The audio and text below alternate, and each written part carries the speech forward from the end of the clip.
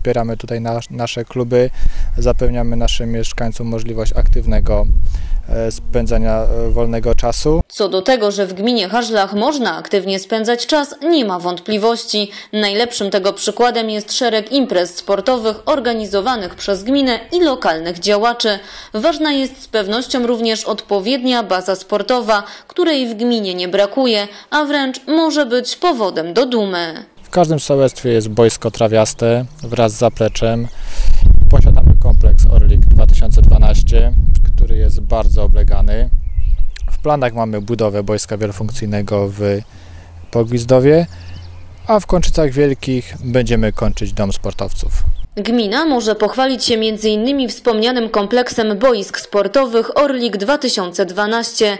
Inwestycja ta była współfinansowana w ramach programu Moje Boisko Orlik 2012 ze środków budżetu państwa, samorządu województwa śląskiego i gminy Haszlach.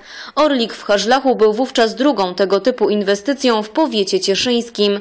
Boiska, które znajdują się w okolicy kompleksu szkolnego cieszą się dużą popularnością. Korzystają z nich nie tylko najmłodsi. Orlik zarządzany jest e, przez panią dyrektor e, Szkoły Podstawowej imienia Trzech Braci Faszlaku. Prowadzimy tutaj szereg zajęć dydaktyczno-sportowych dla dzieci i młodzieży, a w godzinach wieczornych korzystają grupy dorosłe. Na terenie kompleksu znajdują się dwa boiska wraz z zapleczem.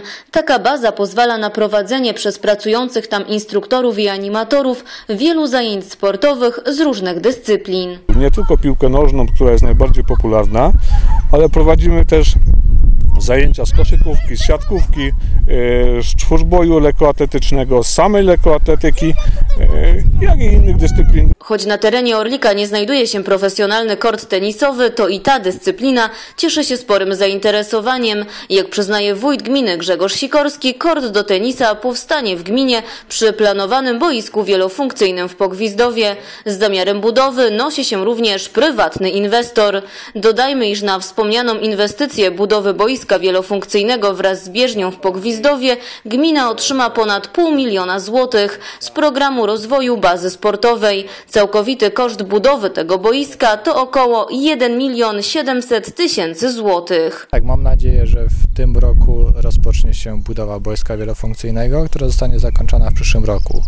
Można powiedzieć, tu na razie jest ściernisko, ale powstanie boisko sportowe. Na terenie kompleksu sportowego w Pogwizdowie będzie nie tylko bieżnia i wspomniany kort tenisowy. Swoje miejsce znajdą tam różnego rodzaju boiska. Z tej inwestycji mogą cieszyć się zwłaszcza uczniowie szkół, z którymi boisko wielofunkcyjne będzie w bliskim sąsiedztwie. Między innymi taką placówką jest szkoła podstawowa w Pogwizdowie, która już teraz na bazę sportową nie może narzekać. Baza sportowa w naszej szkole jest zadowalająca, spełnia nasze oczekiwania i potrzeby. Dysponujemy jedną małą salą gimnastyczną do gimnastyki korekcyjnej. Jeżeli chodzi o dużą halę sportową, którą również dysponujemy, jest to hala, w której znajdujemy się obecnie.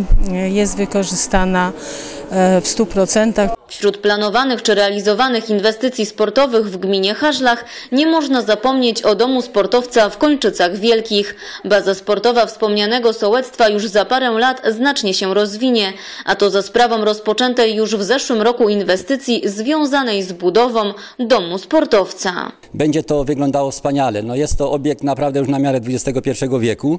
Yy, No zamierzamy tutaj na dole, bo jesteśmy akurat na piętrze.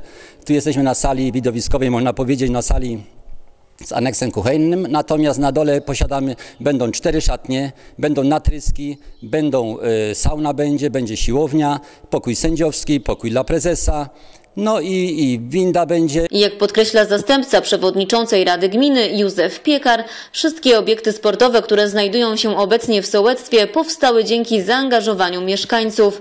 Dlatego wsparcie gminy przy budowie domu sportowca jest dla wszystkich bardzo ważne. Wszystkie te obiekty dotychczas, które tu zostały e, wybudowane poza ubikacjami, e, szaletami publicznymi, wykonaliśmy e, w czynie społecznym. Oczywiście, że tam z jakimś dotacją z budżetu gminy, ale generalnie e, wszystko zostało wykonane e, pracami społecznymi. E, Ten obiekt, który w tej chwili powstaje, on generalnie miał powstać 4 lata temu. Całe szczęście doczekaliśmy się rozpoczęcia w ubiegłym roku e, tego obiektu i mam nadzieję, że tak zgodnie z harmonogramem i planem e, zagospodarowania e, wsi Kończyce Wielkie zostanie dokończone w 2017 roku. Tak więc, jeżeli wszystko pójdzie dobrze, to już za dwa lata Kończyce Wielkie będą mogły w pełni korzystać ze swojego nowego obiektu przeznaczonego do celów rekreacyjnych i sportowych.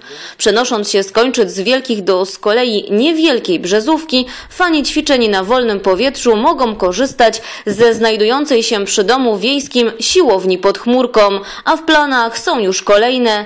Dodajmy, iż w tym roku gmina w budżecie zabezpieczyła na sport kwotę 200 tysięcy złotych. Dla portalu Śląska Cieszyńskiego OX.pl Marta Szymnik.